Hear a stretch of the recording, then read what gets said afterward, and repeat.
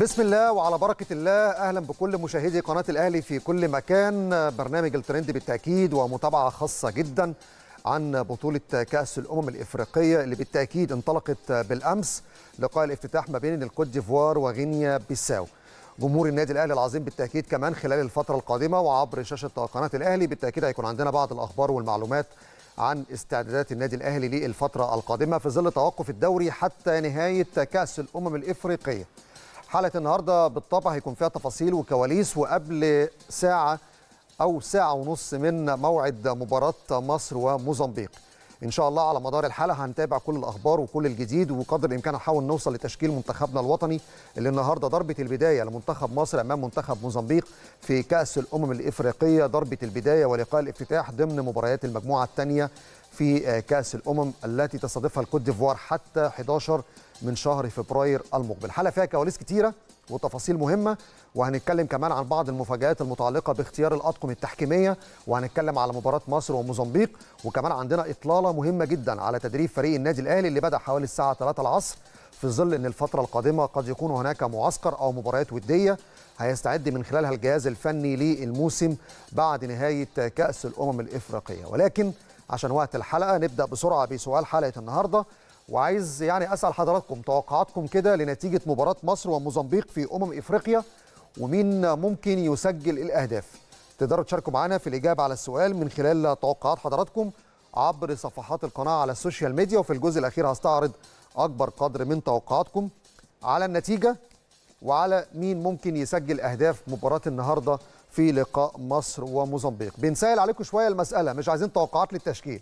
ولكن النتيجة ومين ممكن يسجل أهداف اليوم؟ نتمنى يا رب يكون في انتصار مهم جدا لمنتخبنا الوطني. لكن نروح لأهم العناوين. في ترند أفريقيا ضربة البداية للفراعنة أمام موزمبيق. وكمان إشادة بالتحكيم المصري في مباراة الافتتاح. وفي ترند الأهلي الفريق يواصل تدريباته تحت قيادة كولر.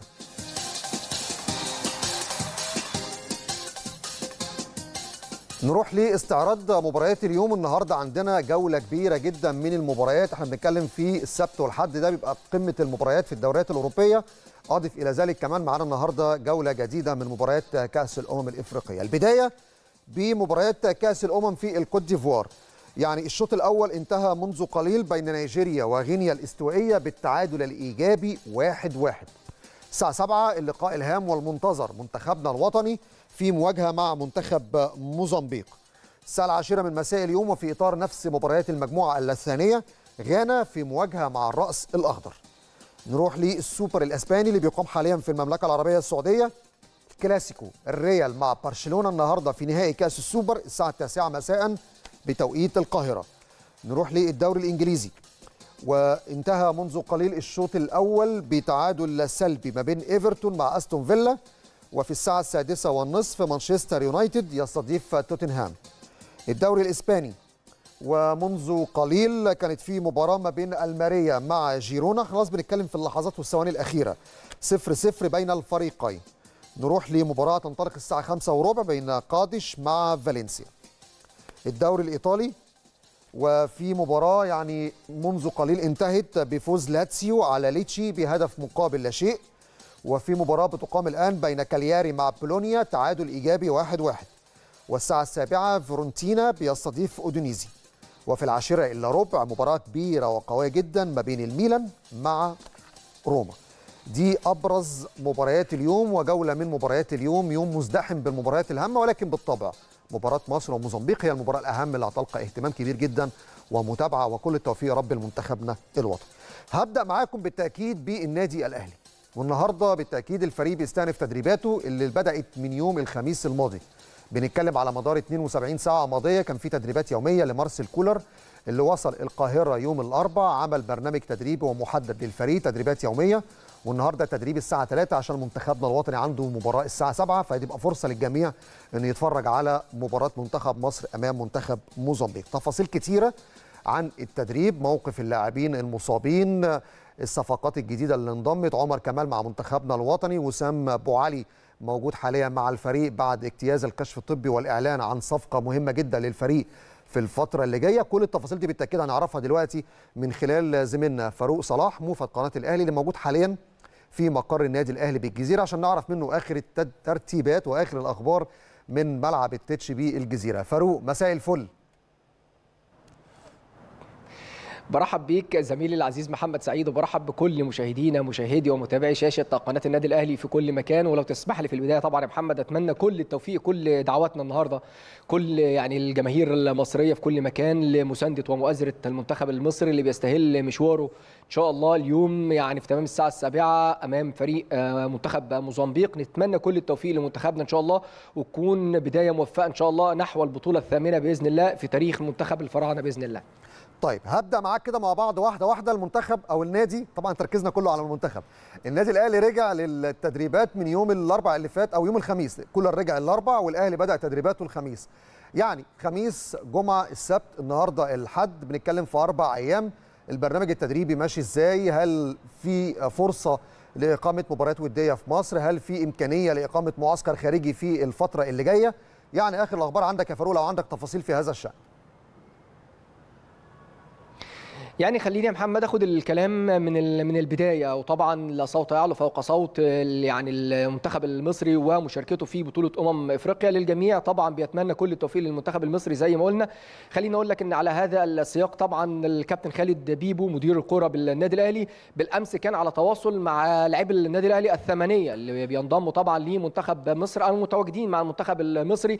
كان ليه حديث طبعا مع الشناوي بيطمن من الكابتن محمد الشناوي على اللعيبة وبيطمن على الاستعدادات اللعيبة إن شاء الله وبينقل له خالص يعني تمنيات الجهاز الفني بظهور الشناوي وأيضا يعني محمد محمد هاني ياسر إبراهيم محمد عبد المنعم مروان عطية إمام عاشور محمود عبد المنعم كهربا وأيضا عمر كمال عبد الواحد لاعب النادي الأهلي المنضم حديثا لصفوف النادي الأهلي اللي كان الكابتن خالد تواصل معاه ويعني نقل له سعادة الجهاز الفني بتواجده مع الفريق النادي الأهلي وانضمامه للنادي الأهلي وأيضا بيتمنى له التوفيق في هذه البطولة بإذن الله هو وكافة لاعبي النادي الأهلي. كابتن خالد اطمن من كل اللعيبة يعني على آخر الأمور بالنسبة لهم واتمنى لهم التوفيق. وزي ما قلنا يعني الجميع اللعيبة على تواصل أيضا لاعبي النادي الأهلي. خليني أقول لك برضو محمد كل لاعبي النادي الأهلي يعني النهارده كانوا على تواصل مش فقط مع اللاعبين المنتخب المصري أيضا مع علي معلول لاعب المنتخب التونسي أيضا بيرسيتاو وأليو ديانج كافة اللاعبين الكابتن خالد بيبو تواصل معاهم اللاعبين إن شاء الله نتمنى لهم التوفيق.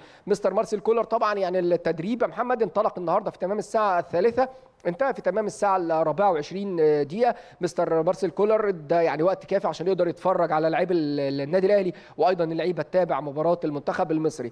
على مدار الأيام الماضية أنت عارف محمد العودة من الأجازة أو يعني بعد الراحة الطويلة اللي حصل عليها اللاعبين يعني كان مستر كولر طبعا يعني مجموعة من القياسات تمت للاعبين والجوانب البدنية اللي شغال عليها تيتسيان اندويا مخطط أحمال النادي الأهلي. طبعا بالتنسيق مع طبيب تغذية النادي الأهلي الدكتور الدكتور إيهاب علي. يعني ترتيب للمرحلة اللي هي بعد العودة من الأجازة بيبقى في تنسيق للجوانب البدنية والبرنامج التأهيلي للموضوع طبعا الفريق استأنف ابتدى التدريبات الخميس الجمعة السبت النهارده يعني تقدر تقول برضو لسه الجانب من الأمور الخططيه أو الأمور البدنية. وعودة طبعا أنت عارف الأحمال بتبقى متدرجة شوية للاعبين. إلى جانب طبعا بعض الفقرات البدنية اللي بيكون باستخدام الكرة من اللاعبين. تقدر تقول يا محمد برضو عايز يعني بالأمس أقول لك إن اللاعب خالد عبد الفتاح يعني ده كان من الأمور اللي حدثت في تدريب الأمس. خالد عبد الفتاح كان شعر بألام في العضلة الخلفية للقدم اليسرى. طبيب الفريق الدكتور أحمد جاب الله يعني فضل يعني خروجه من من المرام بعد شعوره بالألام وتم إجراء إشاعة بالرنين والسونار على خالد عبد الفتاح اللي أكدت يعني زي ما يعني قال الدكتور أحمد جاب الله إصابته بشد في العضلة الخلفية للقدم اليسرى وبالتالي النهارده يعني بدأ خلاص في البرنامج التأهيلي ويدخل في مرحلة البرنامج التأهيلي. أجرى يعني بعض الجلسات الطبية وعمل له أيضا إشاعة ثانية الدكتور أحمد جاب الله يعني تقدر تقول إن الأمور بالنسبة له بعد إصابته طبعا هيمشي في برنامج تأهيلي خلال الأيام القادمة. عايز أطمنك أيضا يا محمد على كلام كتير كلام بيتقال على أو اجتهادات من بعض يعني الجمهور أو بعض الزملاء على وسائل التواصل الاجتماعي. بعض الأخبار بتقول رضا سليم ينزل خلال 48 ساعة. أو عبد القادر خلينا نقول لك الكلام ده غير يعني غير صحيح بالمرة. اللعيبة في البرنامج التأهيلي الموضوع موضوع ليها سواء عبد القادر بطمنك عليه أمور بالنسبة لعبد القادر. طبعا اللي كان اشتكى طبعا أو يعني إصابته كانت مزق في العضلة.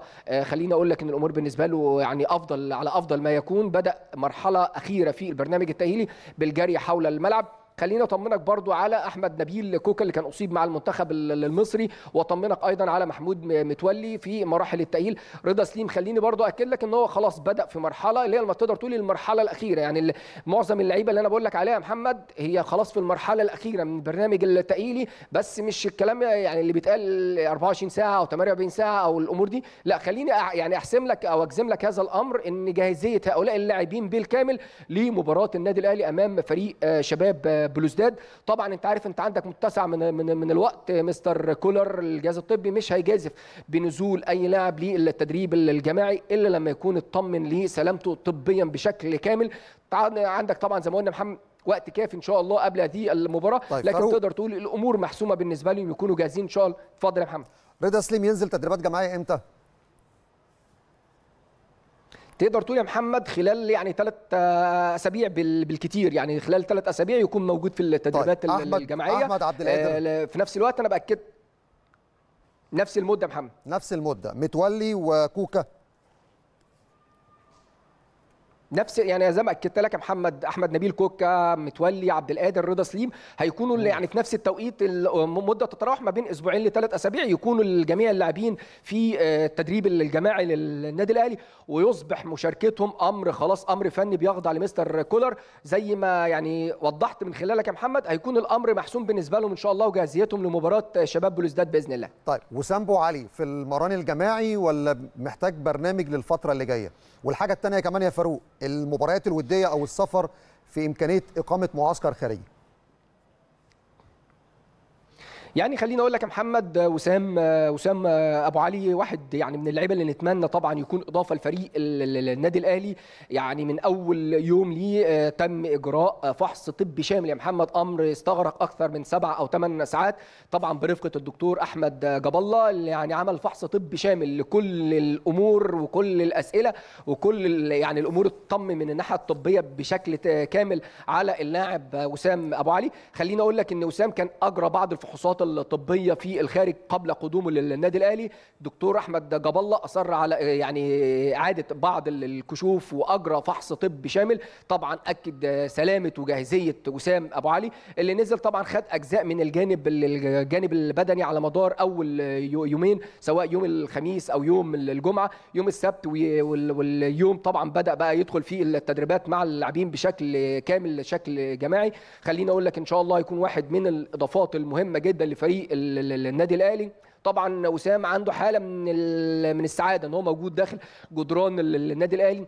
كلامه مع اللاعبين الابتسامة اللي إحنا بنشوفها على وجه اللاعب وسام آه، أبو علي جاي يحقق أهداف ليه كتير جدا مع النادي الاهلي. إن شاء الله صفقة تكون على قدر طموحات جماهير النادي الاهلي ويقدر يضيف للنادي الاهلي زي ما النادي الاهلي طبعا بيضيف لأي لاعب بيرتدي قميص ال- النادي الاهلي. طبعا الأمور استقبال اللاعبين يعني خليني أقول لك إن أيضا بعض اللاعبين يا محمد المتواجدين مع المنتخب المصري خليني أقول لك إن محمد الشناوي كابتن فريق النادي الأهلي آه، يعني كان في كان في م- تليفون ما بينه وما بين وسام أبو علي قدر إن هو يهنيه بانضمامه للنادي الأهلي ويطمن عليه تواصل من جانب لاعبي النادي الأهلي مع وسام أبو علي اتمنوا له التوفيق التواصل ده محمد مش من اللعيبة الموجودين فقط لكن اللعيبة أيضا اللي موجودة في المنتخبات الأخرى إن شاء الله يكون إضافة مهمة للنادي الأهلي الفترة القادمة طيب. محمد يعني خليني أقول لك إن الفريق. غدا هيستأنف تدريباته صباحا إن شاء الله يكون آه.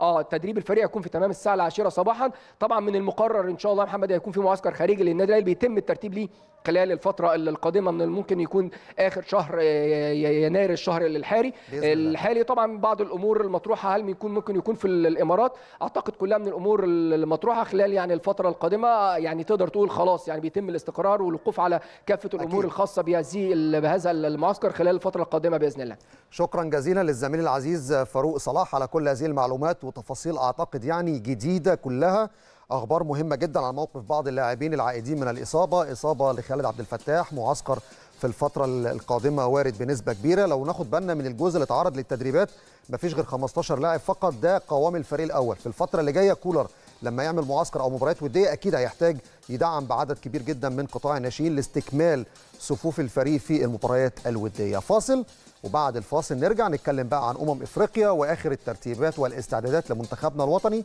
قبل مواجهة موزمبيق الساعة 7 من مساء اليوم. حفل افتتاح تاريخي بالتأكيد بالنسبة لكأس الأمم الإفريقية في الكوت ديفوار. والشيء اللافت للنظر إنه حفل افتتاح بيعبر عن تاريخ القارة السمراء. اولا الفولكلور الإفريقي وأنت بتتفرج كده. أنت مش بتتكلم بس على حفل افتتاح متعلق بس بالأفيال الإيفوارية. أنت بتتكلم على 52 دولة أو بعد يعني زيادة الدول بقت 54 دولة إفريقية في الفترة الأخيرة. اولا الميزة في حفل الافتتاح مش بيعبر بس عن الكوت ديفوار. لا ده كان بيعبر عن كل الدول الإفريقية. ربط أفريقيا من الشمال للغرب للجنوب. ووجود عدد من المطربين في هذا الحفل وكمان الأغاني ما كانتش باللغة الفرنسية. ده باللغة الفرنسية والإنجليزية. وكان الفنان المصري محمد رمضان موجود كمان عشان يعبر عن منطقة شمال إفريقيا والفن المصري بحديثه وبأغانيه باللغة العربية. وترجمه الأغنية للغة العربية عشان الحفل في حد ذاته يكون بيشمل كل القارة الإفريقية. الميزة كمان إن الألوانات اللي كانت موجودة في حفل الافتتاح ألوان مبهجة. ألوانات ما تحسش كده إن هي معمولة بشكل ارتجالي. لا ألوانات تحس إن هي مكملة بعضها. حتى لما تم الكشف عن كأس الأمم الإفريقية كان حواليها أدخنة بلون علم الكوت ديفوار. فحفل افتتاح مبهج مبهر جميل جدا يعبر بجد عن القارة السمراء. وأكيد كل حفل افتتاح وكل بطولة كل دولة بتحاول تقدم الفكرة في حد ذاتها. في 2019 لما مصر نظمت كأس الأمم كان الهدف من حفل الافتتاح إن هو يعبر عن القارة الإفريقية بالحضارة الفرعونية والحضارة المصرية. صور قدامكم على الشاشة زي ما أنتم شايفين. الألوانات جميلة جدا الصورة نفسها مبهجة. بصوا الأدخنة دي والألعاب دي كلها بلون علم الكوت ديفوار الدولة المنظمة. شعار البطولة في حد ذاته كان موجود. رسمة القارة الإفريقية الألوانات اللي أنتم شايفينها. كمان الهدف من الحفل الافتتاح إن هو يعبر عن كل دولة في القارة الإفريقية. في دول بتعتمد على الزرع في دول بتعتمد على الصناعة. في دول بتعتمد على الغناء والرقص. الدول الإفريقية تحديدا دول غرب إفريقيا. فالحفل اجمالا لا حفل مبهج جدا والكل كان سعيد بهذه الصورة اللي ظهرت في حفل الافتتاح. طيب ده جانب. الجانب الثاني وإحنا عايزين نتكلم على مباراة مصر وموزمبيق. رغم إن تاريخ الفراعنة دايما للكعب العالي على منتخب موزمبيق ولكن النهارده محمد صلاح على موعد مع كسر العقدة التاريخية اللي ارتبطت بكل مبارياته الافتتاحية مع منتخبنا ضد الفرق الإفريقية. يمكن محمد صلاح على مدار مشواره مع منتخب مصر في كل مبارياته الافتتاحية مع المنتخب لا يحرز أهداف. النهارده بإذن الله هيكون محمد صلاح على موعد بإذن الله إن شاء الله لكسر هذه العقدة ولو إحراز هدف. ده بالنسبة للإنجاز الفردي، الإنجاز الجماعي نتمنى يا رب إن شاء الله المنتخب يكسب ويحقق الثلاث نقاط لأن ضربة البداية مهمة جدا. ولكن الجزئية المتعلقة بنجم كبير زي محمد صلاح العالم كله بيتكلم عليه ومحمد صلاح في الكوت ديفوار تحديدا هو النجم الأبرز من كل فرق البطولة وبين كل النجوم البطولة ولاعبي البطولة. فالنهاردة بإذن الله هيكون صلاح على موعد مع كسر هذه العقدة لأن في كل بطولة إفريقية مع موعد لقاء افتتاحي لمنتخب مصر يعني التوفيق ما بيكونش مع نجمنا المصري محمد صلاح. ولكن الجانب الإيجابي وهو جانب تاريخي متعلق إن منتخب مصر دايما كعبه عالي. وكعب عاله مش على مش كعب العالي بس على موزمبيق في النتائج. لا ده كمان موزمبيق وش السعد على منتخبنا الوطني. المباراة الافتتاحية لما بتكون مع موزمبيق منتخب مصر بيوصل بيصل, بيصل للنهائي وبنكسب البطولة. نرجع مع بعض كده من أول عام 86 كأس الأمم اللي استضافتها مصر في 86 كانت مباراة الافتتاح مع موزمبيق. كسبنا 2-0 كسبنا 2-0 ووقتها وصلنا الفاينل وكسبنا البطولة. في 98 لقاء الافتتاح كان مع منتخب موزمبيق. كسبنا أيضا 2-0 ووصلنا فاينل مع جنوب إفريقيا وكسبنا البطولة. في 2010 في انجولا كانت مباراة الافتتاح مع موزمبيق وكسبنا 2-0 ولقاء النهائي كان مع غانا وكسبنا البطولة. انت بتتكلم على ثلاث مناسبات في أمم إفريقيا. ضربة البداية موزمبيق. تكسب وتوصل فاينل وتكسب البطولة. المباراة الرابعة منتخب مصر كان بيلعب مع موزمبيق في تصفيات كأس العالم 2014 اللي أقيمت في البرازيل. كسبنا 2-0 في لقاء الذهاب وكسبنا أيضا في لقاء الإياب 1-0 واللي أحرز الهدف محمد صلاح. هل ينجح صلاح في إحراز هدف مقرر بعد تسع سنوات في مرمى موزمبيق؟ ليكسر العقدة التاريخية مع المباريات الافتتاحية.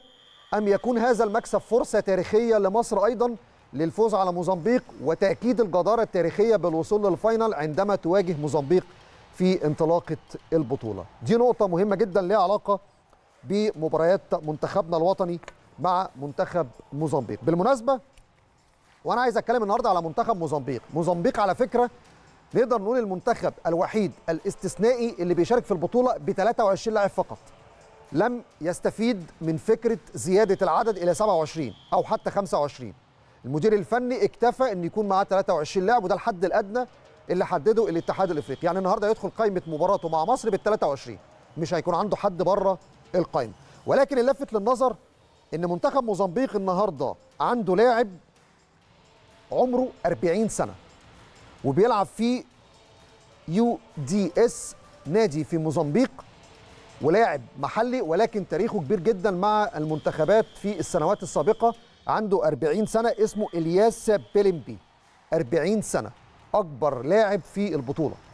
وفي نفس الوقت في هذا الجيل من منتخب موزمبيق في لعيب رغم إن كابتن الفريق أو قائد الفريق عنده 40 سنة ولكن أصغر لاعب في الفريق عنده 20 سنة. فارق عمري كامل 20 سنة ما بين قائد الفريق إلياس سيمبيلمبي مع رينيلدو رينيلدو عنده 20 سنة وبيلعب في أتلتيكو مدريد في إسبانيا. وفي كمان لاعب عنده 20 سنة اسمه فاتزيو بيلعب في فيرافيارو الموزمبيقي. يعني فريق عنده معدل أعمار سنية متفاوت من 40 سنة ل 20 سنة. نجم الفريق حاليا بيلعب في نادي أتلتيكو مدريد الأسباني اسمه رينيلدو رقم 15 وبالتالي انت بتتكلم النهارده عن فريق قوامه معظمه بيلعب في الدوري المحلي وعنده لاعبين محترفين بس بنسبة قليلة جدا ما بين إسبانيا وبلجيكا وتركيا. ده منتخب موزمبيق وأكيد الفارق الشاسع في القيمة التسويقية لمنتخبنا الوطني أعلى كتير جدا من منتخب موزمبيق. طيب الجانب الثاني وهتكلم فيه عن مباريات إفريقيا النهارده. النهارده إحنا بنتفرج على ثلاث مباريات. نيجيريا مع غينيا الاستوائية دي ضمن مباريات المجموعة الأولى وهذه المجموعة اللي تفوقت فيها الكوت ديفوار بالأمس على غينيا بيساو 2-0 وبالتالي في الصدارة لقاء اليوم لو انتهى بالتعادل الإيجابي هتتغير شكل المجموعة لأن بالتأكيد الكل كان بيتوقع نيجيريا مع الكوت ديفوار بنسبة كبيرة جدا في المركز الأول والثاني مصر وموزمبيق النهارده الساعة 7 وفي نفس إطار مباريات المجموعة غانا مع الرأس الأخضر. ده ده قدامكم على الشاشة اهو جدول مباريات اليوم اللي هيتلعب النهارده بإذن الله. ماتش الساعة 4 ده مستمر حتى الآن وفي ماتش الساعة 7 وفي ماتش تاني الساعة 10 لو تتكلم على الاطقم التحكيمية اللي هتدير هذه المباريات ماتش نيجيريا وغينيا مع الجنوب إفريقي توم ابونجيل ومعاه على الفار الجزائري لحم بن براهيم. مصر وموزمبيق هيدير المباراة الموريتاني دحام بيدا وعلى الفار بيتر كاماكو الكيني. لو تتفرج على مباراة غانا والرأس الأخضر هيكون الحكم الكونغولي جون جاك نادالا وهيكون معاه على الفار الجزائري مصطفى غربال. طيب دي مباريات اليوم. بكرة في مجموعة من المباريات الأخرى أنت بتتكلم على مباريات تانية فيها حكم مصري. يعني بكرة مثلا ماتش السنغال وجامبيا هيديرها الحكم المغربي رضوان جيد وهيكون معاه على الفار سمير قزاز طاقم الصفارة كلها من المغرب. لو المباراة الثانية بتتكلم على الكاميرون وغينيا هيديرها الحكم الليبي معتز الشلماني وعلى الفار الحكم المصري محمود عاشور ومعاه كمان اي فار الكابتن محمود إلبن. قدامكم على الشاشة أهو. ده الطاقم المصري بكرة اللي هيكون موجود في غرفة تقنية الفيديو في مباراة الكاميرون وغينيا. الليبي معتز الشلماني حكم المباراة وعلى الفار محمود عاشور ومحمود البنا المباراة الأخيرة اللي هي يوم الاثنين بكرة الجزائر والسنغال. هيديرها الحكم السنغالي عيسى سي والجابوني بيير أتشو. وعند الجابوني بيير أتشو وعند مصطفى غربال تعالوا بقى نتكلم على نقاط مهمة جدا متعلقة بطاقم التحكيم. اولا طاقم تحكيم مباراة الافتتاح طاقم تحكيم مصر بالكامل. نرفع القبعة ونوجه الإشادة والمساندة لطاقم التحكيم بقيادة الحكم الدولي أمين عمر والمساعدان محمود أبو الرجال وأحمد حسام طه والحكم الرابع محمد معروف. وعلى تقنية الفيديو كان محمود عاشور ومساعد تقنية الفيديو الايفار الكابتن محمود البنا. لازم نوجه لهم التحية والتحية هنا ليهم على مجهودهم الشخصي ومجهودهم الفردي. مع كامل احترامي للجميع ناس كتير هتقول لي ما دي منظومة. لا الناس دي امبارح نجحت عشان هي اجتهدت عشان هي اشتغلت اشتغلت على نفسها. واجهت صعوبات على فكرة وأنا مش من النوع اللي أنا ممكن أروح أجيب مسؤول في لجنة واقول له مبروك الإشادة والتقييم والكلام ده كله. لازم أدي كل واحد حقه. محمد صلاح لما تألق وتعملق في الملاعب الأوروبية كلنا قلنا وقتها ده مجهود شخصي من صلاح. للأسف المجهودات دي والنجاحات دي ما بتجيش من تخطيط. للأسف أنا بقول ده للأسف. طاقم التحكيم اللي نجح امبارح ده نجح بناء على اجتهاد شخصي من أمين عمر وأبو الرجال وأحمد حسام طه ومحمد معروف ومحمود عاشور ومحمود البنا. ليه؟ أتذكر في إحدى المرات اللي كان فيها معسكر حكام النخبة الإفريقية المحترفين كان في مصر وعلى هامش هذا المعسكر كانت فيه مباراة القمة بين الأهلي والزمالك. وقتها أنا فاكر كنت متواصل مع لجنة حكام إفريقيا هل ممكن الكابتن أمين عمر يخرج من المعسكر ويدير مباراة القمة؟ قالوا لي يا ريت. مش قالوا لي آه أو لأ قالوا لي يا ريت. يا ريت يخرج من المعسكر ويدير مباراة القمة. سألت وقتها مصادر في اتحاد الكرة في لجنة الحكام. هل أمين عمر مرشح؟ قال لك لا بعيد. مين يا جماعة مرشح؟ قال لك لا. حكم تاني مش أمين عمر. طب ما ادوا مساندة للحكم المصري. الحاجات دي بترفع من المعنويات وبتبقى سبورت قوي جدا مع لجنة حكام إفريقيا. قال لك لا بريرا ليه وجهة نظر تانية ولجنة الحكام لها وجهة نظر تانية. ده واحد. السنة دي وده رقم اتنين احسبوا عدد المباريات اللي أدارها أمين عمر. واللي لعب فيها أبو الرجال وأحمد حسام طه من أول أسبوع الأول لغاية الأسبوع ال11 لو لقيت حد فيهم وصل لأربع مباريات أو خمس مباريات يبقى عندك حق. بل بالعكس هتلاقي في الفترة دي اتوقف أمين عمر. في الفترة دي أبو الرجال خد مباراة ما بين الأولى والثانيه لمدة شهر فاضي ما بياخدش ماتشات. الثالثه لما الحكام الدوليين اللي بيشرفونا دلوقتي في الكوت ديفوار لما طلبوا ياخدوا مباريات كتيرة عشان يستعدوا لكأس الأمم كان التعليق من لجنة الحكام وقتها أوكي هنديكم مباريات في قطاع الناشئين. تعالى دي المباريات في ال 2003 وال 2005 الحكام الدوليين كلهم رفضوا كلهم رفضوا ما عدا كابتن طارق مجدي. كان بيدير مباراة الأهلي والجيش 2003 من حوالي يومين وبالمناسبة قناة الأهلي كانت بتذيع هذا اللقاء. ده الحكام الدوليين اللي المفروض اتحاد الكره بيدعمهم قبل السفر. عشان كده امبارح وأنا بأكد على فكرة إن النجاح ده نجاح شخصي اجتهاد فردي. مفيش منظومة واقفة مع الناس دي. أمين عمر عنده برنامج تدريبي على مدار الشهر ما بينه وبين لجنة حكام إفريقيا مش لجنة حكام الاتحاد المصري. لجنة حكام الاتحاد المصري ما عندهاش فكرة الحكام بتاعتها بتتمرن إزاي. فالنجاح ده نجاح شخصي ده واحد. الحاجة الثانية كمان الدعم الإعلامي. وإحنا هنا في برنامج الترند دايما عندنا دعم إعلامي قوي جدا لكل حكامنا. وحاربنا أنا بقول بنفس اللفظ كده كنا بنحارب على استمرار حكام في القائمة الدولية عشان اللحظة اللي حضراتكم شايفينها دلوقتي. في ناس منهم كانت خرجت من القائمة الدولية. وكانت فعلا مش موجودة في لستة القائمه الدولية. حاربنا عليهم عشان يكملوا. رغم إن إحنا في بعض المباريات كان دايما لينا انتقاد شديد جدا انتقاد شديد جدا ليهم. وكان في أخطاء كبيرة بتحصل في بعض المباريات. ولكن إحنا عارفين إن الحكم ممكن يغلط. ولكن المعدن في حد ذاته لا حكم محترم حكم بروفيشنال لو ساندناه ودعمناه مش هتتكرر الأخطاء. وهيكمل وهيروح وهيسافر وهيكون موجود في مباراه الافتتاح. وده حصل فعلا. ولسه الفترة الجاية بكرة محمود عاشور في المباراة الثانية ليه عنده مباراة الكاميرون وغينيا. محمد عادل غالبا هياخد مباراة على نهاية هذا الأسبوع في مباراة تانية ليه. الجولة الأولى مش هتعدي إلا لما يكون السبع حكام المصريين في البطولة بيحكموا سواء في الملعب أو في الفار. أنا بأكد لكم الكلام ده. وليه بأكد الكلام ده؟ فاكرين برنامج الترند لما انفرد ونشر تصنيف حكام إفريقيا قبل انطلاق كأس الأمم؟ وقتها قلت لحضراتكم التصنيف ده اللي على أساسه هيتم الاختيار في مباراه كأس الأمم. وبالفعل كل لحظة اتكلمنا فيها على التصنيف اللي انفردنا بيه ده اللي بيحصل دلوقتي في التعيينات. محمود عاشور بياخد مباراتين لأنه من أهم حكام الفار في كأس الأمم. النهارده لو تتفرج تلاقي رضوان جيد اللي موجود في قائمة حكام النخبة حكم ساحة وحكم فار. لما اتحط في قائمة كأس الأمم محطوط حكم فار. ولكن النهارده الكاف بيستعين بيه حكم ساحه حكم ساحه وده يخلينا نرجع لجزئية اتكلمنا فيها قبل كده. ادي لحكامك شارة الملعب وشارة الفار لأن ممكن يتم تصنيفه بناء على الشارة دي.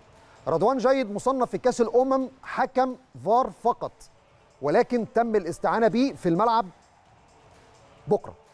تم الاستعانة بيه في الملعب بكرة. نفس الأمر على مصطفى غربال. متصنف في حكام كأس الأمم إن هو حكم ساحه ولكن ارجع لقائمة التصنيف الأساسية اللي الكاف بيشتغل عليها. بيدي له مباريات فار وبيدي له مباريات ساحة. والنهاردة مصطفى غربال موجود حكم فار. نفس الأمر سمير القزاز موجود في البطولة حكم ساحة. لكن النهارده أو بكرة مع رضوان جيد موجود حكم فار. إيه الفرق؟ قائمة الحكام المصنفة اللي كنا استعرضناها وانفردنا بيها على شاشة قناة الاهلي كانت فيها أسماء حكام مكتوبة باللون الأزرق ومكتوبة باللون الأسود. اللون الأزرق ده يحكم ملعب ويحكم فار. اللون الأسود بس يحكم ملعب. أمين عمر عشان متسجل باللون الأسود حكم ملعب بس. وامبارح كان موجود في افتتاح كأس الأمم. لكن مين اللي متسجل في القايمة دي؟ أزرق وأسود. عد معايا. مصطفى غربال بيتر كاماكو اللي النهارده هيكون موجود فار في ماتش مصر وموزمبيق رغم إن هو في كأس الأمم محطوط حكم ساحة النهارده هيكون حكم فار مع الحكم الموريتاني دحام بيدا مين تاني متسجل أزرق؟ عندك كمان غير بيتر كاماكو ومصطفى غربال عندك رضوان جيد عندك سمير قزاز عندك هيثم قيراط. الحكام ده هتشوفوها في الملعب وفي الفار. عندك محمد عادل متصنف في أفريقيا حكم ساحة وحكم فار. رغم إن ال list عندنا الدولية في مصر محمد عادل مش معاه شارة الفار معاه شارة الملعب بس. التصنيف اللي استعرضناه قبل كده في برنامج الترند هو النهارده اللي بيتم الاختيار على أساسه في مباريات كأس الأمم. عشان كده إحنا الفترة الجاية كل ما يكون في جديد في التعيينات وفي تشكيلة التعيينات هنقول لحضراتكم الكاف بيعين الحكام إزاي. وركزوا على تصنيف الحكام. هتلاقي الحكام المصنفة تصنيف أول سواء في ال elite A أو في ال professional هم اللي بيديروا مباريات الجولة الأولى. هم اللي موجودين في الملعب وفي الفار.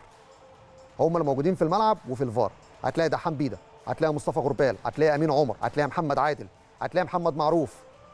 وبعد كده هيبدأ بقى تدي المباريات السهلة للحكام الأقل في التصنيف. وبعد دور المجموعات تبدأ تفلتر وتختار المجموعة المميزة اللي هيكملوا معاك البطولة. البطولة دي مهمة جدا لأن بناء على النتائج في هذه البطولة هيتم اختيار حكام كأس العالم 2026 في الولايات المتحدة الأمريكية. ده جانب مهم جدا عن ملف التحكيم لأن اللي بيحصل فيه يوميا تاكيدا لكل خبر وكل انفراد. قلناه قبل كده لما نشرنا قائمة المصنفين في المحترفين وفي الإليت إيه منتخبنا الوطني على موعد مع التاريخ. منتخبنا الوطني على موعد مع كتابة إنجاز جديد. حققنا سبع ألقاب إفريقية. ولما لا تكون هذه البطولة بإذن الله هي البطولة الثامنه طيب منتخبنا الوطني بالتأكيد هيكون بيستعد لبطولة الأمم الإفريقية والاستعداد مختلف جدا. النهارده في ترند إفريقيا والبداية هتكون مع بعض المعلومات اللي مكتوبة في حسابات السوشيال ميديا. البداية معانا من حساب سبورت 360 مصرية بيتكلموا على تاريخ مواجهات مصر وموزمبيق اللي استعرضتها مع حضراتكم منذ قليل. منتخب مصر لعب خمس مباريات مع موزمبيق كسب في الخمس مباريات. واستعرضت معاكم دلوقتي الثلاث مباريات اللي كانوا موجودين. في كأس الأمم الإفريقية وإزاي قدرنا نكسب ونصل للمباراة النهائية. فموزمبيق بالنسبة لنا هي وش السعد. طيب لما نروح بقى على عين على المنافس والمنافس اللي هيواجه منتخب مصر في كأس الأمم الإفريقية. النهارده حساب يلا كورة عمل حاجة جميلة جدا في عين على المنافس واتكلم على أبرز خمس لاعبين في منتخب موزمبيق الذي يواجه منتخبنا الوطني اليوم في افتتاح كأس الأمم الإفريقية. قدامنا بالتأكيد أبرز خمس لعيبة. الأساسي طبعا لاعب أتلتيكو مدريد رينيلدو ده من أهم اللعيبة. في كمان لاعب بيلعب في الدوري البرتغالي وفي لاعب بيلعب في الدوري الموزمبيقي في كمان الدوري الفنلندي. يعني رغم إن هي دوريات مش قوية جدا ولكن لما نبص على أسماء اللاعبين في أعمار سنية صغيرة وفي أعمار سنية كبيرة. فبالتالي المنتخب خليط ما بين الخبرة والشباب. طيب لما نروح لحساب المصري اليوم على الفيسبوك وحساب المصري اليوم النهارده بيتكلم على موزمبيق وش السعد على الفراعنة في الكان. حصد الثلاث نقاط معناه التاهل للدور المقبل والفوز باللقب. وده اللي كنت بتكلم عليه في بداية الحلقة إن منتخب موزمبيق واجه مصر في افتتاحية ثلاث نسخ من الكان. والنتيجة مش كان فوز الفوز في المباراة بس لا ده حصد الثلاث ألقاب. طيب لما لما نروح بقى على حساب اليوم السابع. وحساب اليوم السابع على الفيسبوك بيتكلم على مسيرة منتخب مصر في كأس الأمم الإفريقية. بصوا يا جماعة 25 مشاركة وهي مشاركة تاريخية المنتخب الأكثر مشاركة في كأس الأمم الإفريقية. لعبنا في بطولة الأمم 107 مباراة. كسبنا 60 لقاء اتعادلنا في 20 مباراة خسرنا 27 مباراة وأحرزنا 168 هدف. مين المنتخب اللي بيأتي بعد منتخب مصر؟ منتخب الكوت ديفوار. منتخب الكوت ديفوار امبارح كانت المشاركة رقم 24 ليه في كأس الأمم الإفريقية. والمباراة رقم 100 يعني من إطار المشاركة في 24 بطولة لعب 100 مباراة.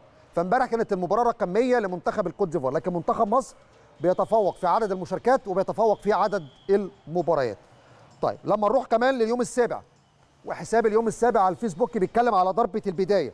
ماذا يفعل منتخب مصر في أول مبارياته في أمم إفريقيا في آخر 10 نسخ؟ طيب نبدأ كده من النسخة الماضية.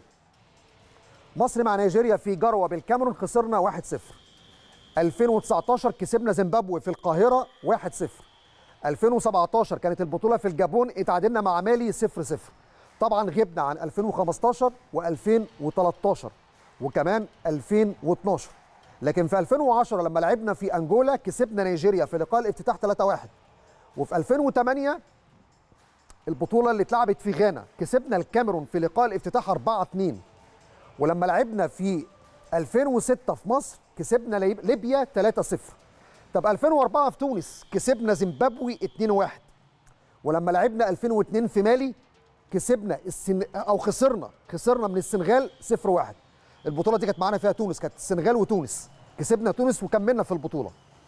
طيب البطولة اللي اتلعبت سنة 2000 في نيجيريا وغانا. ضربة البداية كانت مع زامبيا وكسبنا 2-0 ولو نرجع شوية لبوركينا فاسو 98 كسبنا موزمبيق 2-0 دي نتائج منتخب مصر في أول مباريات الافتتاحية في آخر 10 نسخ من كأس الأمم الإفريقية. الجميل في النسخ دي اللي إحنا حضرنا وعشنا أجواء كل هذه البطولات في السنوات الماضية. يعني البطولات بتجري بسرعة وتاريخ منتخب مصر الحمد لله مشرف جدا في القارة الإفريقية. طب نروح لحساب تليجراف واللي اتكلم فيه على المال. حساب تليجراف مصر على تويتر قال إن المال بيتحدث عن القيم التسويقية لمجموعة مصر في أمم إفريقيا. منتخب غانا هو الأعلى في القيمة التسويقية 195 مليون دولار. مصر 135 مليون الرأس الأخضر كاب فيردي 27 مليون منتخب موزمبيق 20 مليون. لو بتتكلم على القيمة التسويقية لنجم هذه المجموعة المال هنا بيتحدث وبيقول إن محمد صلاح هو أعلى قيمة تسويقية في نجوم هذه المجموعة 56 مليون دولار. يليه محمد قدوس لاعب غانا 45 مليون دولار. أرقام مهمة جدا وكبيرة جدا. طب نروح لحساب الوطن الرياضي بيتكلموا على أرقام فيتوريا مع منتخب مصر قبل بداية مشوار أمم إفريقيا. طيب فيتوريا أدار مع مصر 14 مباراة. كسب 12 اتعادل مباراة واحدة وخسر مباراة واحدة. كانت مباراة ودية أمام منتخب تونس والمباراة اللي تعادلها كانت مع منتخب الجزائر في الامارات طب حساب ليفربول النهارده كمان أكيد ليه اطلاله على محمد صلاح وقال كلام مهم جدا على انطلاقة صلاح في كأس الأمم. ده قدامكم هم حساب ليفربول الرسمي بيقول فيه إن محمد صلاح ومنتخب مصر في بداية مشوار كأس الأمم الإفريقية 2023 ضد ضد موزمبيق. بالتوفيق يمو ده الحساب الرسمي لفريق ليفربول وهو بيتكلم على محمد صلاح. طيب تشكيل منتخب مصر. خلاص إحنا بنتكلم دلوقتي بقى على المباراة حوالي يعني ساعة وربع. تشكيل منتخب مصر زي ما أنتم شايفين طبعا على الشاشة. محمد الشناوي في حراسة المرمى. عندك خط الدفاع من اليمين للشمال محمد هاني ظهير أيمن محمد حمدي ظهير أيسر محمد عبد المنعم وأحمد حجازي. اثنين مساكين وسط الارتكاز حمدي فتحي أحمد سيد زيزو ومحمد النني. في الهجوم محمد صلاح مصطفى محمد محمود تريزيجيه. يعني مفيش فيه مفاجآت التشكيل كما هو المتوقع في الساعات الأخيرة. البعض كان بيتوقع ممكن إمام عاشور يبدأ على حساب زيزو ولكن إحنا كلنا شفنا روي فيتوريا إزاي كان بيفكر في الجانب ده عشان صلاح ما يرتدش ويعمل جانب دفاعي. فيبقى أحمد سيد زيزو يقدر يعمل الجانب ده. تبص على الجبهة اليمنى كان في كلام عمر كمال عبد الواحد ولكن روي فيتوريا شاف محمد هاني سواء هاني أو عمر كمال الاثنين واحد. كان في تفكير يلعب بابو الفتوح أو أحمد فتوح ولا يلعب بمحمد حمدي. ولكن نسبة المشاركة وعدد المباريات لمحمد حمدي كانت أكبر فادى الفرصة النهارده لمحمد حمدي يكون في انطلاقة البطولة. طيب نروح بقى كمان لحساب كورة على الفيسبوك واللي قال محمد صلاح وعقدة المباريات الافتتاحية مع منتخبنا الوطني. وده الجانب اللي كنت بتكلم فيه مع حضراتكم النهارده في بداية الحلقة. هل صلاح ينجح في كسر العقدة ولا لا؟ بصوا يا جماعة مع بعض كده نبص على كل المباريات الافتتاحية لصلاح مع منتخب مصر. لم يسجل ابدا. في نسخة 2017 كانت مباراة مالي. لم ينجح في إحراز أي هدف. في نسخة 2019 في مصر كانت لقاء مصر مع زيمبابوي. كسبنا المباراة ولكن صلاح لم يحرز. في نسخة 2021 لعبنا مع نيجيريا خسرنا ولكن صلاح لم يحرز أي هدف في اللقاء. تحدي جديد في انتظاره اليوم لمحاولة فك العقدة أمام منتخب موزمبيق. طيب ده الأمور المتعلقة بترند أفريقيا وأبرز النقاط المتعلقة بالسوشيال ميديا. والحديث عن الجوانب الرقمية لمنتخبنا الوطني طب نروح بقى في الجزء الأخير من البرنامج للجانب المتعلق بالمشاركات والسؤال اللي طرحناه في بداية الحلقة. لما سألنا على توقعاتكم للنتيجه وممكن مين النهارده يسجل الأهداف؟ هل الناس متفائلة ولا مش متفائلة؟ تعالوا مع بعض نشوف التوقعات. البداية برمضان حمدي بيقول بإذن الله فوز مصر 0 2 والأهداف صلاح وكهربا. يعني كهربا هينزل بديل ويحرز هدف. هبة بتقول إن شاء الله فوز مصر 2 0 ربنا يكتب لهم التوفيق. يا رب بإذن الله. إيهاب بيقول 3-0 إن شاء الله لمصر. تحياتي ليك أستاذ محمد. شكرا جزيلا ليك يا أستاذ إيهاب. حنان بتقول آه إن شاء الله منتخب مصر يسعدنا. أداء ونتيجة. وأتوقع الفوز لمصر 3-0 حلو قوي التفاؤل ده. أسامة بيقول 0 2 تريزيجيه ومصطفى محمد. والاثنين في التشكيلة الأساسية. فايزة بركات بتقول إن شاء الله 2-0 صلاح وتريزيجيه. يا رب. عبد المنعم عصام بيقول فوز مصر 0 2 إن شاء الله.